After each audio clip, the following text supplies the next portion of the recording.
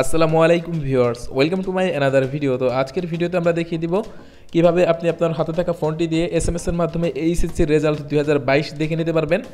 তো এইচএসসির রেজাল্ট দুই হাজার বাইশের পরীক্ষার্থীদের রেজাল্টটা আটই ফেব্রুয়ারি দুই হাজার তেইশ তারিখে প্রকাশ করা হবে। এই তথ্যটা কিন্তু আপনারা অনেকেই ইতিমধ্যেই জেনে গেছেন যে আট ফেব্রুয়ারি দুই হাজার তেইশ তারিখে এইচএসসি রেজাল্টটা পাবলিশ করা হবে। তো এইচএসসি রেজাল্টটা কীভাবে আপনি দেখে নিতে পারবেন? তো এইচএসসি রেজাল্ট দেখার জন্য দুইটা সিস্টেম রয়েছে। তো একটা হচ্ছে অনলাইনের মাধ্যমে আর একটা হচ্ছে এস এর মাধ্যমে।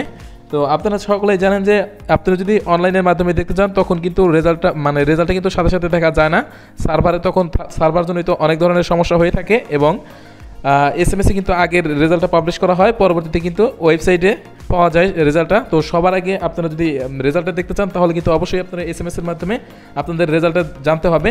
পরবর্তীতে আপনারা ওয়েবসাইটের মাধ্যমে সেখান থেকে মার্কশিট সহ আপনাদের রেজাল্টটা দেখে নিতে পারবেন। পরবর্তীতে ভিডিওতে আমি দেখিয়ে দেবো কীভাবে আপনি মার্কশিট সহ আপনারা এসি এইচএসসি রেজাল্টটা দেখে নিতে পারবেন। তো আমি আজকের ভিডিওতে দেখিয়ে দেবো কীভাবে আপনারা এস এম এসের মাধ্যমে খুব তাড়াতাড়ি এবং কি সবার আগে আপনারা আপনাদের রেজাল্টটা দেখে নিতে পারবেন। তো কথা না বাড়ি আমি চলে আসলাম মোবাইল স্ক্রিনে তো এখানে আসার পর জাস্ট মেসেজ অপশনটা আমরা এখান থেকে ওপেন করে নিব। তো জাস্ট আমরা এখান থেকে মেসেজ অপশনটা ওপেন করে নিচ্ছি। তো অবশ্যই সম্পূর্ণ ভিডিওটি মনোযোগ সহকারে দেখার জন্য অনুরোধ জানাচ্ছি।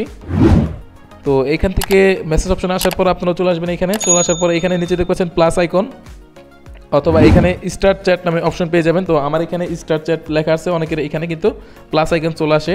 নতুন একটি এস এম এস সেন্ড করার জন্য অথবা এস এম এস ট্যাপ বার নেওয়ার জন্য এখানে ক্লিক করে দেবেন। তো এখানে ক্লিক করে দেওয়ার পর টাইপ ইউর নেম আর ফোন নাম্বার তো আপনি যেই নাম্বারটিতে এস এম এসটা পাঠাতে চাচ্ছেন, সেই নাম্বারটা কিন্তু এখানে উঠিয়ে নিতে হবে। তো এখান থেকে জাস্ট টু যে অপশনটা আছে, এখান থেকে আমরা নাম্বারটা উঠিয়ে নেব, তো আমরা এস এম এসটা সেন্ড করব ওয়ান সিক্স ট্রিপল টু নাম্বারে। তো এস এম এসটা সেন্ড করার জন্য অবশ্যই আপনার সিমে তিন টাকা প্লাস থাকতে হবে। আর আপনি যে কোনো সিম থেকে কিন্তু এখান থেকে এস এম এসটা পাঠাতে পারবেন, কোনো সমস্যা হবে না।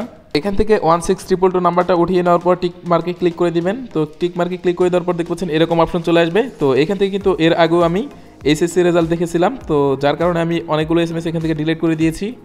নিরাপত্তার স্বার্থে। তো এখান থেকে আমরা টাইপ করব রেজাল্টটা দেখার জন্য। অবশ্যই আপনাকে এখান থেকে টাইপ করতে হবে এইচ এইচ সি এখান থেকে কিন্তু অবশ্যই আপনাকে সবগুলো অক্ষর ক্যাপিটাল অক্ষর দিতে হবে অর্থাৎ অর্থাৎ বড় হাতের অক্ষর দিতে হবে।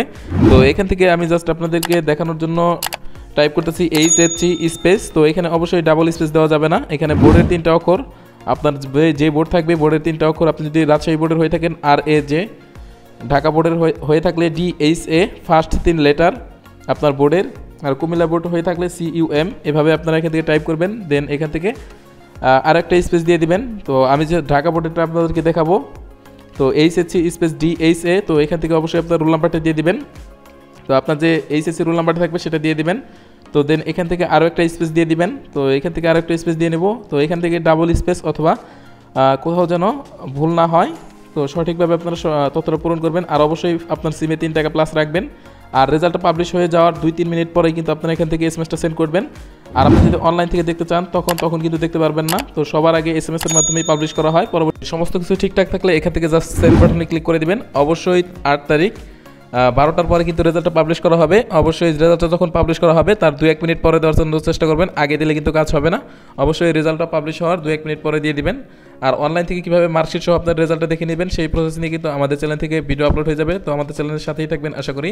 তো ধন্যবাদ সবাইকে, আমাকে সময় দেওয়ার জন্য। সবাই ভালো থাকবেন, সুস্থ থাকবেন এবং পরবর্তী ভিডিওতে আমাদের সাথেই থাকবেন।